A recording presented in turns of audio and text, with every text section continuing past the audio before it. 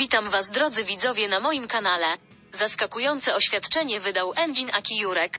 Engin Akijurek, którego nazwisko było przedmiotem plotek miłosnych z inną aktorką Demet Ozdemir, pewnego dnia znalazł się w centrum uwagi Zorlu AVM. Przystojny aktor oglądał produkty nowego sezonu i robił zakupy. Jego fani wykazali duże zainteresowanie Enginem Akeurkiem, który zrobił sobie pamiątkowe zdjęcia z fanami, którzy przyszli do niego podczas jego zakupów.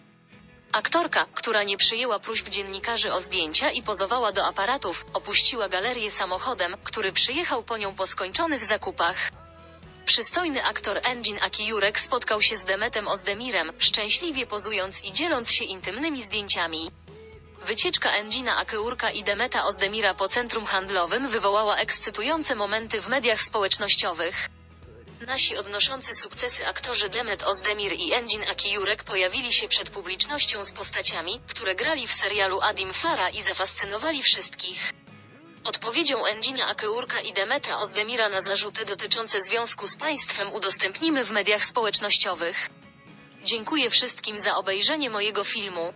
Do zobaczenia w nowych filmach.